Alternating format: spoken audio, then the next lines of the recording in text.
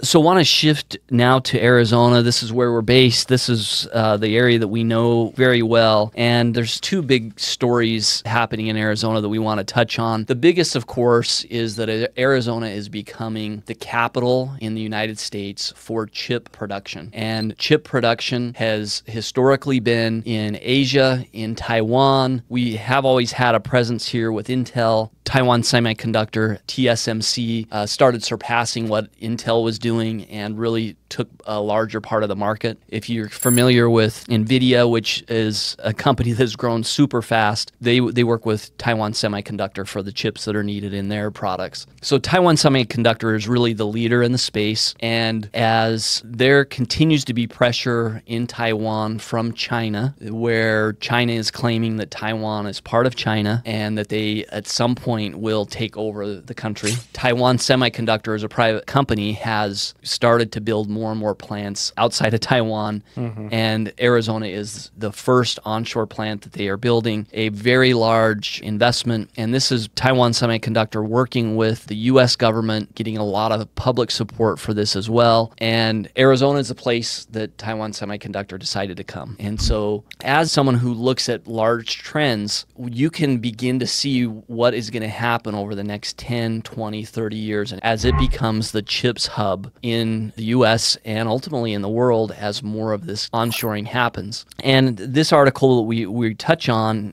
goes to talk about how this whole ecosystem is being built. Not only are we going to have the companies here who are working and producing chips, but Arizona State University, the other universities are now building programs around uh, teaching students who will then be hired into those plants the proper skills. And this is really a dramatic shift in the workforce that we're going to have here in Arizona. I just want to touch on a couple of things. The U.S. semiconductor industry is projected to face a shortage of 70,000 workers needed for all of this onshoring that's going to be happening for semiconductors. 9,000 of those jobs, at least, will be in Maricopa County. Wow. And in addition to those 9,000, you have all the infrastructure around them, including construction and all the, the support of creating chips and uh, semiconductors that's going to be happening in Arizona. If I'm a parent, I'm telling my kids right now, look up the Quick Start program, enroll in it, get on the wait list because the folks that get jobs at the semiconductor factories are going to make a lot of money someday. Absolutely. Let the trend be your friend. Yeah. If you want to live in Arizona, if you want to stay here, great technical role to go start early in your career and, you know, the sky's the limit with that industry. Yep. I mean, you can do really well there. This is not just, you know, labor intensive jobs. These are high, highly skilled. Uh, they need folks to be on the business side as well as the production side and the construction side. And Arizona is doing it right. They're mm-hmm. focusing on building the education pipeline so that TSMC will have the pipeline to fill these jobs as they come out. And and the government is very supportive of this plant. Now the plant itself, there's some controversy around it. We've had some videos talking about the plant that have, have gone viral and there's been a lot of negative comments mm-hmm. around it. And there's a lot of negative people who comment online anyway. And then there's also positive comments, but fact is that the project is happening. This is good for Arizona. Uh, it is progress, and people just have to get used to that.